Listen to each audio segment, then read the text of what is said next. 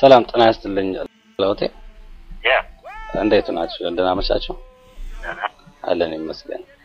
አንድ ጥያቄ ነበረኝ፣ ይቅርታ አድርግልኝና ከኢትዮጵያ የተለያዩ የባህል እቃዎችን እያስመጣን ነውና ምናልባት interesting ከሆናችሁ ይህንን የምትወስዱ ከሆነ ማለት ነው በሬስቶራንት ነታችሁ I think የሚጠቅማችሁ ይመስለናል። ምን አልከኝ? ሬስቶራንት ስላላችሁ ለእናንተ ይጠቅማል ብለን ስላሰብን እናንተ ጋር ደውለናል። ምንድን ነው? ሙቀጫ ነው እኛ ጋር ምን ይሰራል? ሙቀጫ ሱቅ ውስጥ ካልሆነ በስተቀር ምን ይጠቅማል ብለህ ነው? አይ ለገንፎ ምናምን የተለያዩ ባህላዊ ምግቦች የምታዘጋጁ ከሆነ ቂንጬ አትፈልጉም ማለት የሚጠቅመው ነገር ምንም እሱ አይታየኝም። ምክንያቱም ለመግዛት የሚፈልግ ሰው ከሆነ ሱቅ ውስጥ convenience store አይነት አሉ አይደል? የአበሻ ሱቅ እነሱ እነሱ ጋር ይሄ ያው ለምሳሌ ነው የምትደውለው?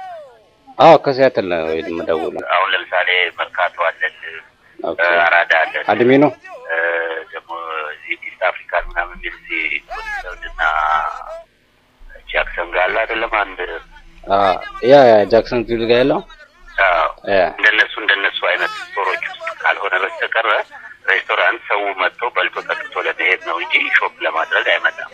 ማለት እኮ እንድትጠቀሙበት እኮ ነው። እነሱ ያው መሸጥ እንጂ ማለት ቂንጬ፣ የተለያዩ ሰነፍ ገብስ ቂንጬ አታዘጋጁም? ቁርስ? አይ አላዘጋጅም። አዎ okay። አይ እንደዛ በማሽን ከሚሆን ነው እንዴ? ቂንጬ? ለቂንጬ? እንዴት ታዲያ በሙቀጫ አይደል እንደሚወቀጠው? ደግሞ አሜሪካን ሀገር መጥቼ ቅንጬ ልውቀጥ እንዴ? እንዴት ነው አንተ ያሰብከው?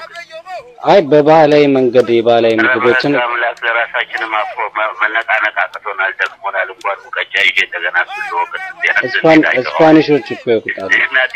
ቀላል ስራ እኮ አይደለም። አይ ካሳያቸው እኮ Spanish ኦች ይወቅጣሉ ማለት እነሱ በቀላል Spanish ፈልግልኝ ምንም ችግር የለውም። have connection አንድ Spanish ሴት ፈልግና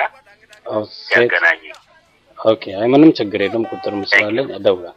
እሺ ደህና ደረ ይቅርታ አድርግልኝ አስቸገርኩ። Bye.